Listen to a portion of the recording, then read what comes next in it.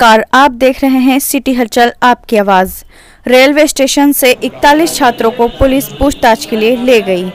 अग्निपथ के विरोध के मद्देनजर पुलिस की निगरानी। सिविल सर्विस की तैयारी कर रहे 41 छात्रों को पुलिस लाई थाने। ट्रेन से घर जाने को स्टेशन पहुँचने का एक छात्र का दावा। एसडीएम का बयान छात्रों की कार कराई टेंशन से क्या कर जाएगी? काउंसलिंग चंदोसी रेलवे स्टेशन का मामला है। कितने लोग थे? हम अपने गाँव से तो चार पाँच बंदे थे लेकिन यहाँ तो करीब इकतालीस लोग हैं। बंदे अलग अलग गाँव से तो क्या तैयारी कर रहे थे हम ये कोचिंग में? हम तो यूपीटी की तैयारी करने आते हैं एक्सीलेंट कोचिंग